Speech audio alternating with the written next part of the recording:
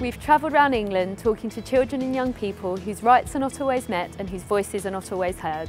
And we're taking our findings to the UN Committee on the Rights of the Child to tell them what needs to change here in England. Our project has been led by a steering group of 22 children. And overall, nearly a thousand children have told us their views in person and through an online survey about all aspects of their lives. We want to show where children's rights are not being met. The issues we want the UN to consider are Children living in poor quality and cramped housing.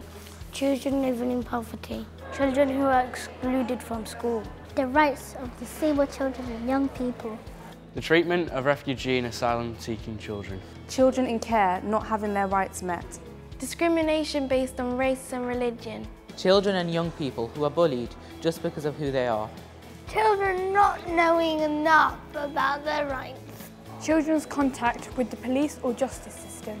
Discrimination against LGBT children and young people. Discrimination against gypsy and traveller children. Children living in B&B accommodation or who are homeless. Being treated unfairly just because you're a child. All our evidence goes into a report which we present to the UN Committee on the Rights of the Child in Geneva this year. We hope the committee will include our suggestions in the recommendations they set for the UK government to follow to make sure the rights of all children in England are being met. I'd really like to see changes like these. More accessible play spaces for disabled children. Better relationships between children and police. Less changeover of social workers.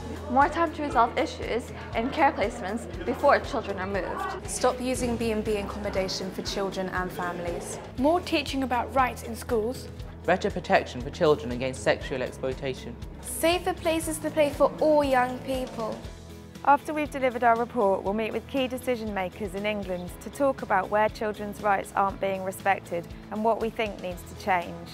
We want other children and young people to work with us and take action on children's rights. I think it's important to speak to the UN because it's just skipping middleman and going straight to them. I don't think it's very often that young people get to actually get their point across directly. I think it's important because children have different perspective on everything. And perspective is very important. And also we are the voice of the future, so I think that's why it's really important. Because we didn't know our rights and they took advantage of us. The UN needs to hear from children.